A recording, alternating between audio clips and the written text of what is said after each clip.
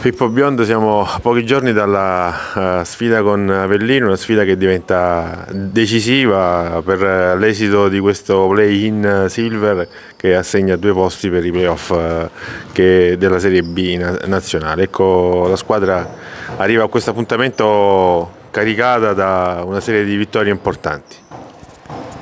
Sì, noi arriviamo da, da tre vittorie importanti dopo proprio la sconfitta con Avellino all'andata, quindi arriviamo in un buon momento, i ragazzi si stanno preparando bene, per noi è una partita importante perché da, da come ne usciamo capiamo se possiamo ancora continuare o no questo sogno playoff.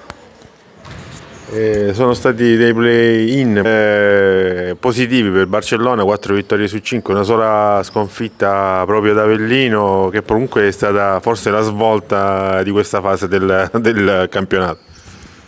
Sì, l'unica fino ad ora a fare su, cioè una sconfitta e quattro vittorie.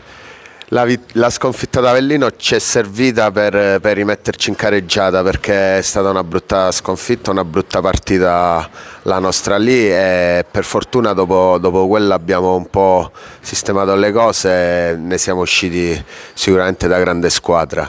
E, ehm, questi play-in eh, sì, siamo contentissimi del percorso che stiamo facendo, adesso paghiamo un po' le, le, il girone di ritorno, però siamo contenti, siamo contenti. Diciamo che gli obiettivi della stagione sono già stati centrati, questo una, sarebbe una ciliegina sulla torta, la conquista dei playoff, giusto? Sicuramente sì, essere a questo punto a tre giornate dalla fine e giocarci playoff era quello che sognavamo, noi er-, eravamo partiti per, per salvarci e per provare di, a creare entusiasmo, credo che, che lo abbiamo fatto Adesso vediamo come, come finiamo. Certo che essere qui è una grande soddisfazione per tutta la piazza. A proposito di piazza, domenica c'è questa sfida con Avellino, una sfida d'altri tempi per Barcellona, ricordiamo le sfide che abbiamo seguito da, da ragazzi per me.